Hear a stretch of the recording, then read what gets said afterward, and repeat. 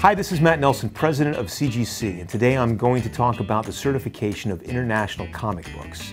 Now, many comic books uh, that are international are unique to their country of origin and have been around as long as US comics have.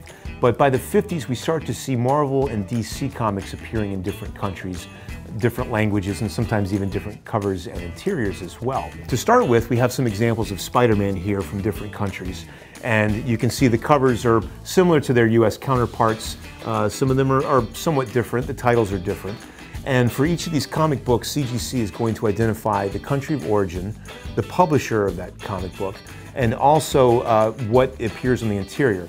Sometimes the interiors uh, mirror their US counterpart, sometimes they don't. Sometimes they have different stories altogether or additional stories. Sometimes they're in black and white or in color. And here I have Spider-Man number 252, published in 1984, featuring the first black costume. It's a comic book that we're all familiar with. But here we have Edderkoppen number 11, which is published in Norway in 1986, two years later. So for this international edition of Spider-Man 252, CGC identifies it as Spider-Man 252 on the label, and below that lists the international title, in this case Edderkoppen number 11 from 1986. We've identified Edderkoppen number 11 as the first black costume for Spider-Man, just like Spider-Man 252, even though it appeared two years later.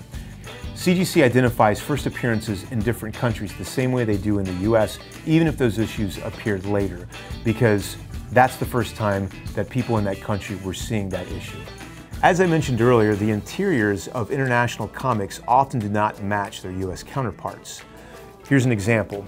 This is Fantastic Four number one, Mexican edition, uh, which actually was published in 1962, less than a year after the, uh, the American version was.